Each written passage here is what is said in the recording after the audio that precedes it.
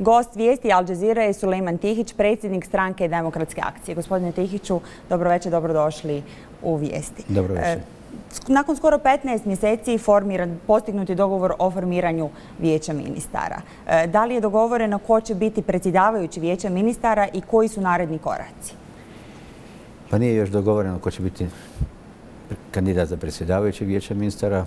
To pravo predlaganja ima HDZ Bosne i Hercegovine i mi očekujemo da će oni sutra, najkasnije preko sutra, dostaviti to ime i nama radi upoznavanja, a također i predsjedništvu koji treba da imenuje mandatara.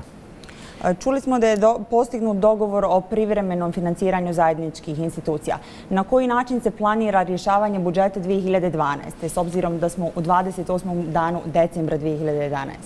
Pa mi smo prvo postigli dogovor da se usvoji budžet za 2011. godinu koji će iznositi onoliko kolika je potrošnja u ovoj godini bila za institucije Bosne i Hercegovine i međunarodne obaveze.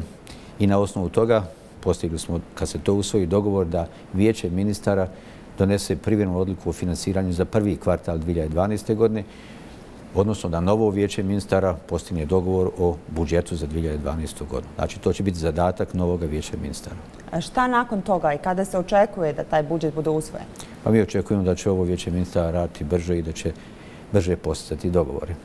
U protekli godinu dana stranka SDA insistirala je da e, mjesto ministra financija ili predsjednika uprave za indirektno oporezivanje e, dođe član iz njenih redova. Sad po ovom dogovoru e, niste dobili ni jednu od te dvije pozicije. Pa vi ste slušali, mnogi su prije nas nešto drugo ovaj, insistirali od toga da žele četiri ministarstva, da žele predsjedavajući, ministra vanjskih poslova. Mi smo bili zadnji koji smo nešto uvjetovali. I ovo kad smo tražili, mi nismo uvjetovali ovaj postizanjem sporazuma ukoliko SDA ne dobije to ministarstvo.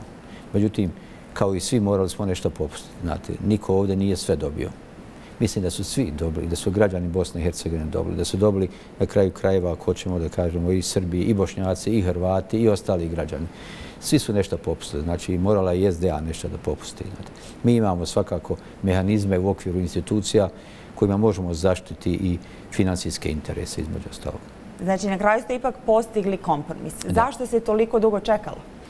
Pa nije se dugo čekalo zbog ovoga zahtjeva SDA. Čekalo se, kao što znate, zbog drugih zahtjeva koji su bili daleko prije nas istaknuti. Mi smo tek to negdje pri samom kraju pregovora istakli. E, zašto nije postignut dogovor? SDA je uvijek bila i trudila se da bude dio rješenja, a ne dio problema. I težili smo stalno za kompromisima. I ja sam danas na ovom sastanku pokušao da spojim sve ono što se spojiti može kako bi se napravio jedan, jedan ovaj, korektan dogovor. Znate. Ovaj, moja je odgovornost bila ta. Normalno zasluge svih nas što je postignut dogovor. Znali se koliko će u novom vijeću ministara biti žena na ministarskim pozicijama? To još ne znam, ali nisam baš neki optimista. Nismo još dotle Da li će biti jedna trećina? Ne verujem. I evo za kraj pitanje, šta obični građani mogu očekivati od današnjeg dogovora? Pa mogu očekivati kad je u pitanju ovaj dogovor vezano za usvajanje zakona, da će Bosna i Hercegovina moći aplicirati za kandidatski status za članstvo u Evropskoj uniji, da će to normalno otvoriti neke druge, neke druge horizonte rješavanja nekih drugih problema, neke pristupne fondove i tako dalje. Zatim može očekivati da će vijeće ministara početi da radi, da radi u punom sastavu i da rješava probleme. Ovaj dogovor treba da bude podsaj za posljedanje i drugih dogovora, ne samo kad je u pitanju vijeće ministara, nego sve ono što nas čeka u narednoj godini, kad su u pitanju brojni zakoni, kad je, kad je u pitanju članstvo Bosne i Hercegovine u NATO savezu i tako dalje. Gospodine Tihiću, hvala vam najljepše na gostovanju u vijestima Al Jazeera. Hvala i vama.